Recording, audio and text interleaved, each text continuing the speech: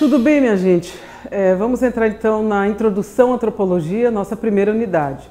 Essa unidade apresenta o contexto de formação da disciplina e o método etnográfico a partir das diferentes fases de produção é, do conhecimento acerca da diversidade humana e cultural, envolvendo as noções de etnocentrismo, raça, as teorias deterministas e evolucionismo cultural.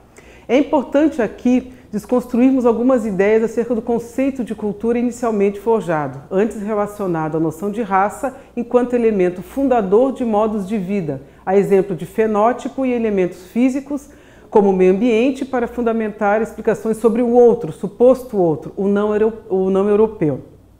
É, uma vez identificado o limite da corrente determinista, que nós veremos no decorrer da disciplina, cuja natureza não permite mudanças, mas a cristalização de formas de vida humana, tal qual sugere o termo determinismo, o evolucionismo, ao contrário, demonstra a possibilidade de transformações e explicações da diversidade humana para além das características físicas e adaptação ao meio ambiente.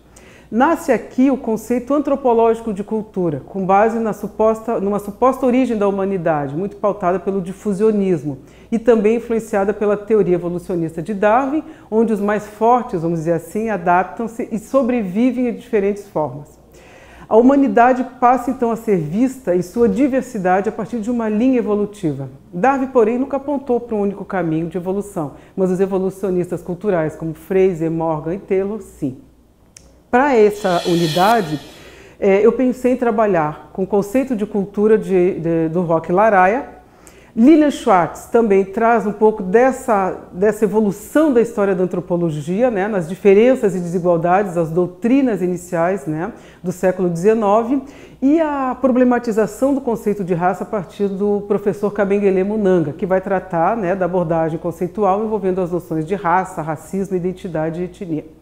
Né? Outras leituras complementares podem auxiliar a partir de comentaristas sobre evolucionismo cultural, como Celso Castro, e aprender antropologia com Laplatine. Né? São autores que falam de um modo geral sobre a formação da disciplina.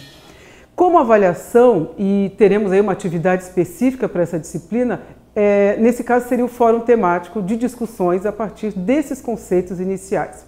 Então eu aguardo vocês, vou estar acompanhando no fórum as discussões que ali vão surgir. Obrigada.